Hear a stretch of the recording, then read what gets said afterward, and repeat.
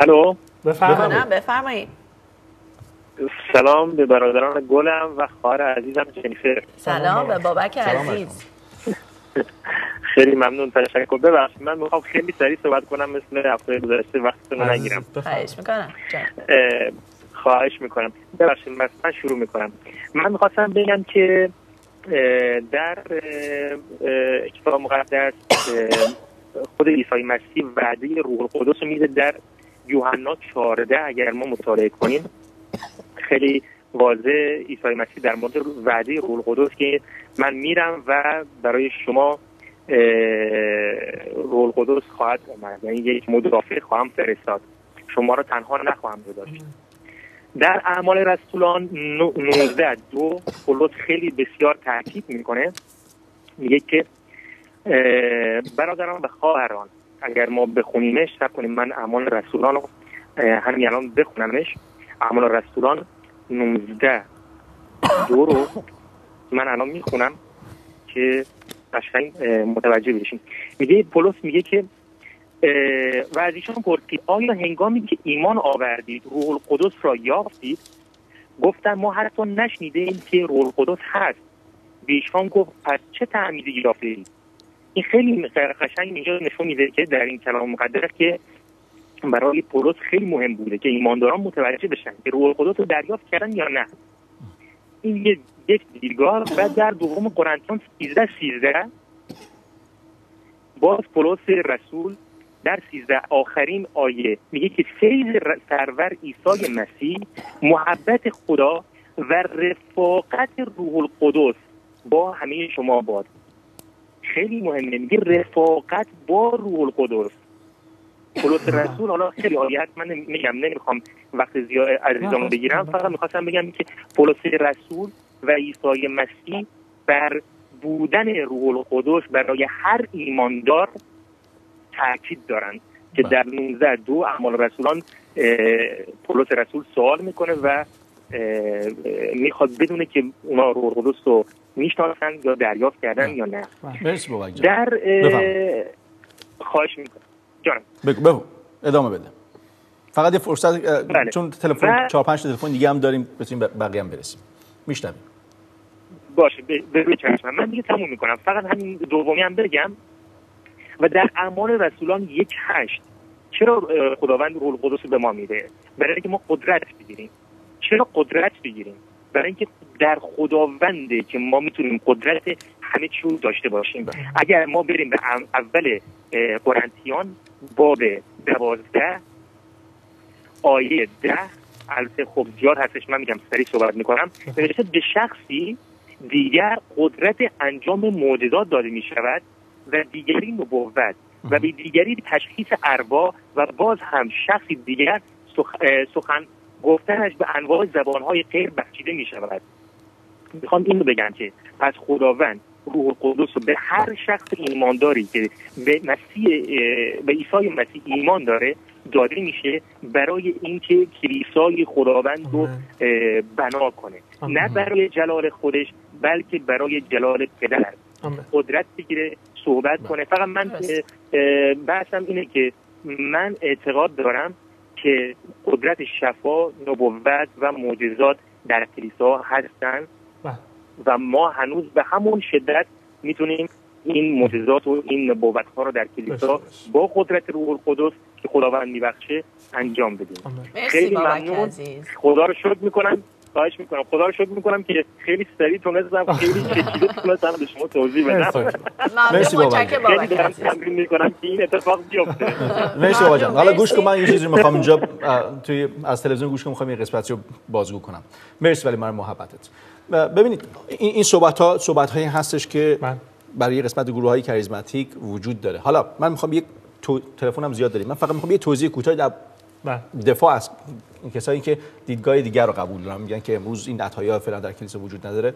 این رو هم بگم. ببینید خب این گروهی که به این مسئله معتقد هستن به این گونه به مسئله پنتیکاست نگاه می‌کنن.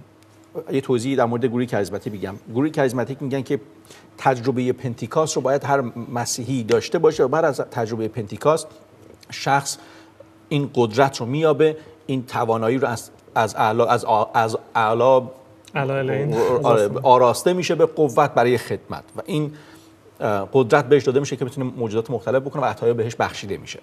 پس تجربه پنتیکاست در آغازه که بعضی حالا میگن عطای زبان نشانه اون هست بعضی میگن عطای دیگه ای ممکنه بهش داده بشه. حالا صحبت این گروه اینه که آیا پنتیکاست رو ما چگونه بهش نگاه می‌کنیم؟ آیا پنتیکاست بعد تجربه شخصی باشه به یک طبق بندی دیگه متعلقه؟ دو تا مفهوم رو تعریف می‌کنن این گروه. مفهوم اول اینه که ما یک اصلی داریم به اسم تاریخ فدیه. در این تاریخ فدیه ما می‌بینیم خدا از زمانی که آدم گناه می‌کنه این تاریخ فدیه شروع میشه تا زمانی که مسیح بازگرده و برگزیدگان نجات پیدا می‌کنن. یعنی عهد عتیق آن چیزی که در عهد عتیق اتفاق میفته بعد تولد عیسی مسیح زندگی عیسی مسیح مصلوب شدن عیسی مسیح رستاخیز عیسی مسیح صعود عیسی مسیح روز پنتیکاست بعد دوران کلیساس بازگشت عیسی مسیح بازیافت مسیحیان هستش بعد جلال یافتن. این اتفاقاتی که انجام میشه در طی تاریخ رو ما بشیم تاریخ فدیه. در این تاریخ فدیه همونطور که پولس رسول هم توی کتاب اعمال رسولان بهش اشاره می‌کنه اگر آیش پیدا کنم آیه دو و باب دو آیه سی و دو سی و سه اینطور میگه. میگه درباره قیامت مسیح پیش دیده که گفت که نفس او در عالم اموات گذاشته نشود و جسد او فساد رو نبیند. پس همان عیسی را خدا برخیزانید همه ما شاهد بر آن هستیم. پس چون به دست راست خدا بالا برده شد روح القدس موعود را از پدر یافته این را که شما حالا می، حال می‌بینید و میشنوید ریخته شده ریخته است. پولس رسول این گروه استناد می‌کنن به این آیه و میگن که پولس رسول هم داره این مطلب رو بیان می‌کنه که تمام این اتفاقات یک بار در تاریخ فعلی بشر اتفاق افتاد و برای بله.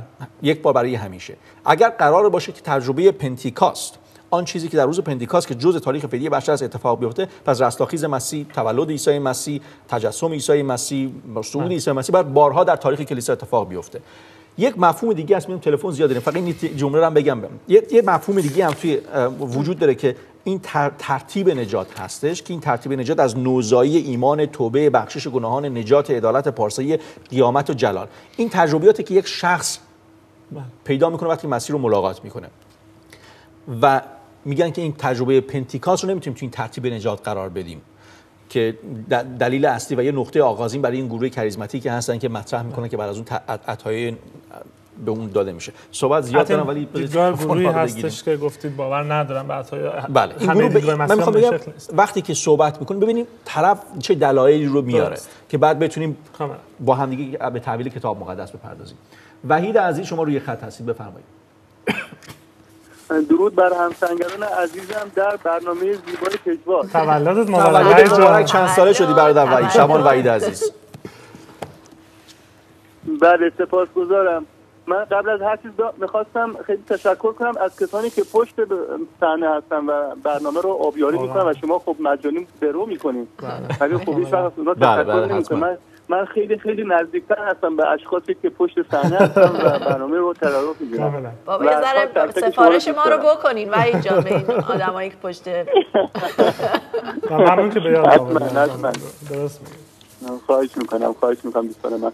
ارزم به حضورتون درباره برنامه خیلی زیبای شما درباره شفا و معجزات یا همون آیات می‌خواستم صحبت بکنم.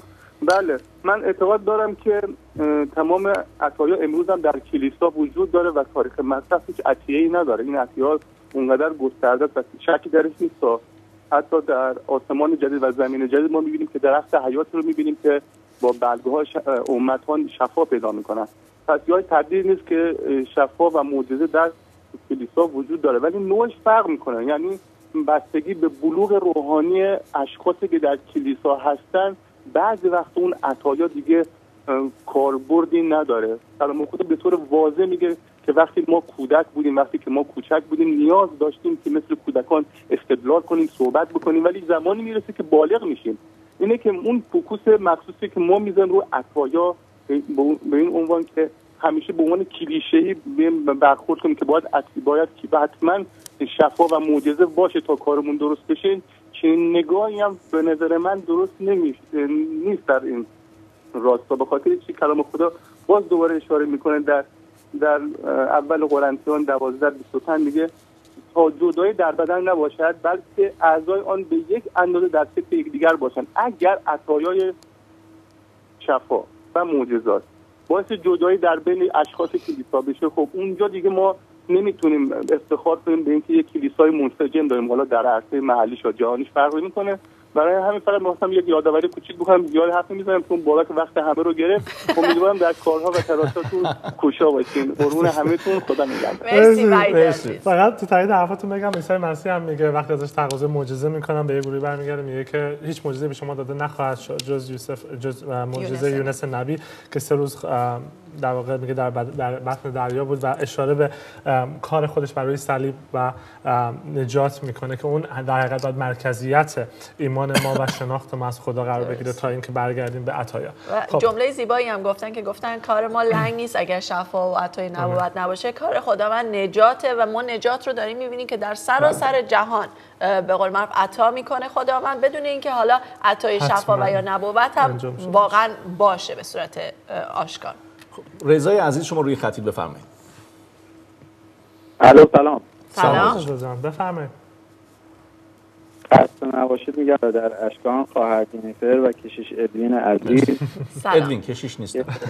ایشون اسمشون کشیش داره توش ازن اشتباه می‌گیرن ولی خب در فروتنی نمی‌خوام کشیش بیام می‌خوام اطلاع خدا خدمت خوبه. راحت ترین من بگو از بفرمایید من خیلی ازش برکت می‌گیرم. اونجا زدید کشیش ادوین. ما هم همینطور. اون کشیش بله. آبنوس هست. اسخوف هم بگی قبول دارم. رضا جان. رضا جان ادامه بدید. بفرمایید رضا جان میشنویم. عرض کنم خدمتتون که من تقریبا یه مدت کوتاهی هست که مسیحی شدم خدا اتفاقا امشب هم تمام سوالی و از در آرمان خیلی برکت گرفتم. سوالی که دارم راجع به شفاعت هست. شفاعت. که یا ما بیماری های روان داریم یا بیماری های جسمی که از اینها نجات پیدا می‌کنیم بیماری روانی خب مثلا اگر یک سری روان پزشک یا روانکاو هستن مثلا شما در نظر بگیرید فروید یا یونگ اینها خیلی کارهایی می‌کردن. افرادی رو از حالتهای بیماری های روحی که داشتن نجات می‌دادن. در مورد بیماری های جسمی هم دکترهایی داریم و الان تخصصهایی که می‌دونید خیلی زیاد شده و اینها دارن روی جسم کار می‌کنن و خیلی رو دارن نجات میدن. من سوالم بیشتر از برادر ادوین هست که این مفهوم شفا اگر ما بگیم شفا نجات دادن از یک بیماری خب یونگ این کار کرد فروید این کارو کرد روانکاو این کارو می‌کنه و بیماری های جسمی هم دکترها دارن. اگر شفا نجات از اینها هست خب آیا اونها هم دارن شفا میدن؟ یا دارن اون نجاتی رو که ما در مسیحیت یا اون شفایی رو که در مسیحیت مطرح میشه این برابر با اون هست؟ و شفایی که در مسیحیت مطرح میشه آیا مثلا به اینه که من یکو بلنشم از عیسی خداوند بخوام که مثلا سر من یا بیماری که در سر من هست شفا بده و مثلا در یک ساعت من شفا پیدا بکنم؟ این اتفاق رو ما داریم شفا میگیم و شفای در مسیحیت یک امر بدون دلیل و بدون مبناست که یهویی از تو خداوند ظاهر میشه یا نه. یک سری فعل و انفعالاتی در فکر من روح من جسم من اتفاق میده یعنی همون کاری رو که یک دکتر مثلا طبیب جسم انجام میده سای خداوند در یک ساعت انجام میده. من می‌خوام تفاوت اینها من نمی‌تونم سوالم رو تونستم مطرح بله. بکنم یا نه. بله بله. بله رضا مرسی رضا عزیز. ممنون از تماستون. چشم. چشم. حتما. دارم. بله. اگر سری باش سریع. می‌پرسم ببخشید. چون سوال یکی از دوستانم هست که قبلا اینا مسیحی نبودن. الان یکیشون مسیحی شده زن شوهری هستن. مسیحی نبودن مسیحی شدن. اینا فرزندی دارن. من می‌خواستم بدونم این تکلیفشون چیه؟ اون که دیگه مرد مسیحی شده. باید چی کار بکنه؟ با همسرش طلاق بده نده آیا این طلاق اگه بده گناه هست یا نه؟ اینم یه اشاره بکنید. ممنون میشم ببخشید بحثتون رو گرفتم. ممنون. ممنون رضا عزیز. کشیش این جواب بده ببینم. شما اول صحبت کنید. تلفن دیگه هم داریم بهشون خواهیم